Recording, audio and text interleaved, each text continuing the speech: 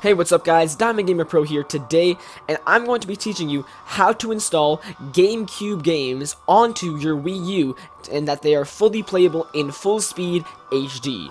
Now, all you're going to need for this is a computer, of course your Wii U's SD card, SD card, and a hacked Nintendo Wii U. If you guys do not know how to install custom firmware onto your Wii U, I will leave a link in the description below on how to hack your Wii U and make it fully customizable. Now, let's jump right into this. Alrighty, everyone. So the first step that you're going to do is head to the link in the description below, and it's going to bring you to this GBAtemp site where you're going to find the application that we're going to be using to get our GameCube game and make it so that it can be installed on our Wii U's. So once you get here, all you need to do is either use the Mega Link or the Google Drive link, whichever one you prefer, to download this exe file. I already have, and it's right here. You're also going to need, of course, the GameCube game that you want to be converting. So what you're going to do is open this application and once it is opened, the, you want to make sure that you're clicking GC Retail Injection. This is how you know that you're injecting a GameCube game and nothing else. Once you do, click on Game, and of course, find your ROM that you're going to be using. I'm, like I said, I'm using Pokemon XD Gale of Darkness. Now, once you do, just click this Download Images, and then it will automatically give you images so that it can be used as a virtual console game on the Wii U. Then, all you need to do, optional source files, you don't need to do anything unless you want to customize this further. I normally don't. Gamepad meta options, this is what you're going to need to do for whatever you want to change it to. It should mostly stay the same as Pokemon XD. Most of the time it will give you the option, but this one, you see, I don't really like this one. So I'm actually going to change it to what I want it to be. So what you can do is just head over to here and change it to whatever title you want. Now, I'm pretty sure the Wii U does not support accents on their GameCube or uh, Virtual Console game, so I'm just going to leave it as a regular Pokemon XD Gale of Darkness.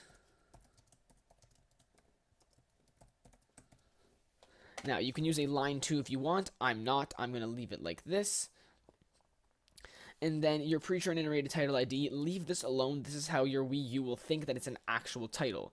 In advanced, you won't need to really do anything unless you were trying to install a Wii game, which I will cover in a further video.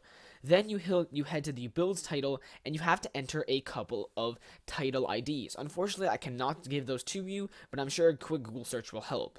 And once you get there, just simply click Builds Title. That process will take anywhere between 5 to 20 minutes at most. Just sit there and let it do its thing. And I will be back when that's done.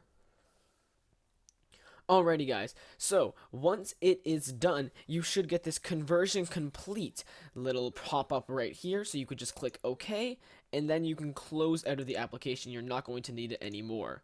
Then go into your file explorer and wherever you chose to save it, you should get a folder titled WUP-N and then it'll give you a title ID and some weird letters and numbers. You don't need to worry about those. Just make sure your U's SD card is plugged into your computer and then you're just going to drag this to the install folder on your Wii U's SD card. If you don't have one, you can just make one. You don't need anything in it, just a blank folder titled install.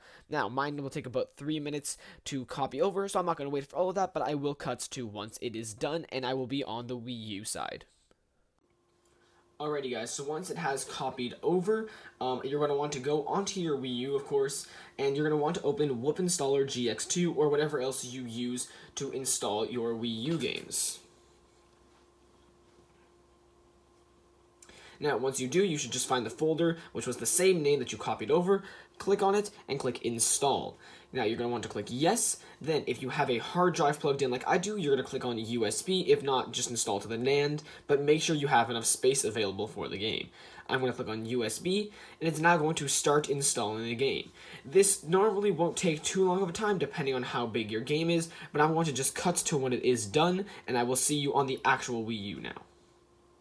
Alrighty everyone, so once the installation has completed, it will give you a little prompt saying successfully installed, and once it does, you can then exit to your home menu. Once you do, you should see your game on either the next page or wherever you have free space on your Wii, your Wii U's home menu.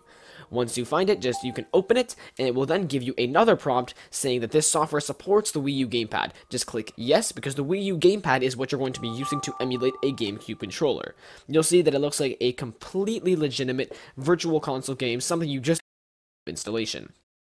it is running through an entire emulation process and starting up the ROM takes about a minute or 30 seconds or anywhere in between that time. And once it is loaded up, you will be able to play your GameCube game fully properly. I'm going to put it into progressive mode, which is how you normally play on an HD TV or monitor. And there you go, guys. You can now play any GameCube game you want on your Wii U. So I hope you guys do enjoy doing this, and if you do, please do leave a like on this video and subscribe and stay tuned for more videos. Hope you enjoyed.